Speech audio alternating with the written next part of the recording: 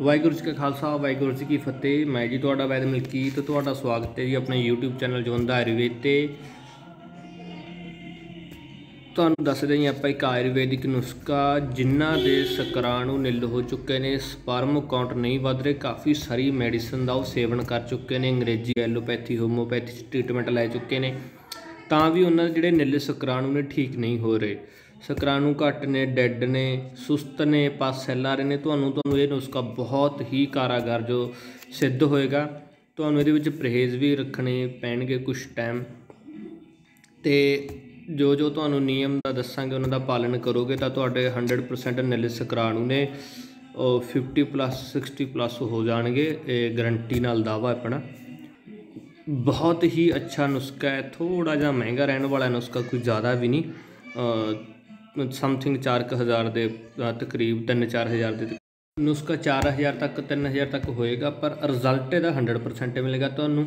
ਜੋ ਨੁਸਖਾ ਦੱਸਾਂਗੇ ਤੇ 60 ਪੁੜੀਆਂ ਬਣਾਉਣੀਆਂ ਨੇ ਨੁਸਖੇ ਦੀਆਂ ਜੀ ਸਵੇਰੇ ਸ਼ਾਮ ਇੱਕ ਇੱਕ ਪੁੜੀ ਮਲਾਈ ਮੱਖਣ ਨਾਲ ਤੁਸੀਂ ਇਹਦੇ ਨਾਲ ਸੇਵਨ ਕਰਨਾ ਹੈ। ਨੁਸਖਾ ਨੋਟ ਕਰ ਲਓ ਤੇ ਬਾਅਦ ਦੇ ਵਿੱਚ ਤੁਹਾਨੂੰ ਆਪਾਂ ਪਰਹੇਜ਼ ਦੱਸ ਦਿੰਦੇ ਹਾਂ ਕੀ ਕੀ ਪਰਹੇਜ਼ ਰੱਖਣੇ ਨੇ। ਨੁਸਖੇ ਦੇ ਵਿੱਚ ਤੁਸੀਂ ਲੈਣੀ ਜੀ ਹੀਰਾ ਭਸਮ 200 mg ਸਿੱਧ ਮਾਕਰ ਤੋਂ ਅੱਜ 2 2 ਗ੍ਰਾਮ ਬਸੰਤ ਕੁਸਮਾਕਰ ਰਸ 2 ਗ੍ਰਾਮ। ਇਹ ਜੋ ਗ੍ਰਾਮਾਂ ਦੇ ਵਿੱਚ ਲਿਖਿਓ ਉਹ ਗ੍ਰਾਮਾਂ ਦੇ ਵਿੱਚ mg ਵਾਲੀ mg ਦੇ ਵਿੱਚ ਇਹ ਧਿਆਨ ਰੱਖਿਓ। ਪ੍ਰਵਾਲ ਪਿਸ਼ਟੀ 10 ਗ੍ਰਾਮ, ਤਿਰਵੰਗ ਭਸਮ 10 ਗ੍ਰਾਮ, ਆਵਰਕ ਭਸਮ 10 ਗ੍ਰਾਮ, ਬੰਗ ਭਸਮ 10 ਗ੍ਰਾਮ, ਗਿਲੋ 7 10 ਗ੍ਰਾਮ, ਪੁਸ਼ਪ ਧਨਵਾ ਰਸ 10 ਗ੍ਰਾਮ, ਜੋਹਰ ਖੁਸ਼ੀਆ 10 ਗ੍ਰਾਮ, ਚਾਂਦੀ ਭਸਮ ਤੁਸੀਂ ਇਹਦੇ ਵਿੱਚ 2.5 ਗ੍ਰਾਮ ਲੈਣੀ ਹੈ। ਤੇ ਇੱਕ ਤੁਸੀਂ ਇਹਦੇ ਵਿੱਚ ਪਾਉਣੀਆਂ ਨੇ 30 ਗੋਲੀਆਂ ਸੁੱਕਰ ਵੱਲਭ ਰਸ। ਤੇ ਇੱਕ ਪੈਕਿੰਗ ਪਾਉਣੀ ਹੈ ਤੁਸੀਂ ਨਵਰਤਨ ਰਸ ਦੀ, ਇਹਦੇ ਵਿੱਚ।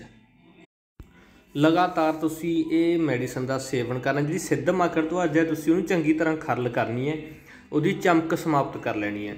ਬਾਕੀ ਸਭ ਨੂੰ ਤੁਸੀਂ ਗੋਲੀਆਂ ਨੂੰ ਕੁੱਟ ਕੇ ਇਦਾਂ ਹੀ ਪਾ ਕੇ ਮਿਕਸ ਕਰਕੇ ਚੰਗੀ ਤਰ੍ਹਾਂ, ਜਿੰਨੀ ਖਰਲ ਕਰੋਗੇ ਉਨਾ ਰਿਜ਼ਲਟ ਵਧੀਆ ਮਿਲੇਗਾ ਮੈਡੀਸਨ ਦਾ।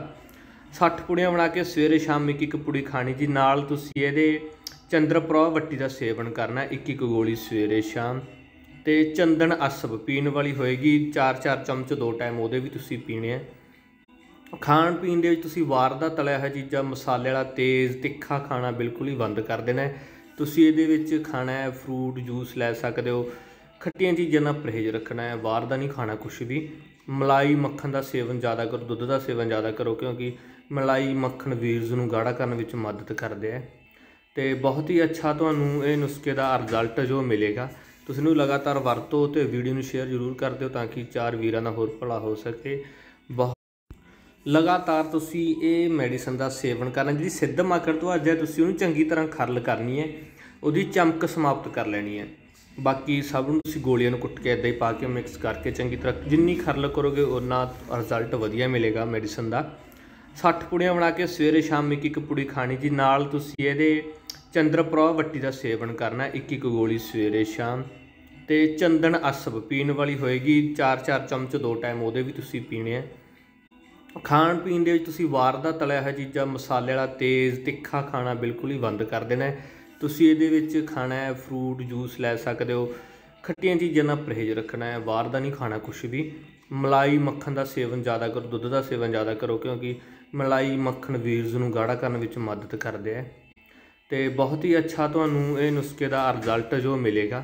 ਤੁਸੀਂ ਇਹਨੂੰ ਲਗਾਤਾਰ ਵਰਤੋ ਤੇ ਵੀਡੀਓ ਨੂੰ ਸ਼ੇਅਰ ਜ਼ਰੂਰ ਕਰ ਦਿਓ ਤਾਂ ਕਿ ਚਾਰ ਵੀਰਾਂ ਦਾ ਹੋਰ ਭਲਾ ਹੋ ਸਕੇ। ਬਹੁਤ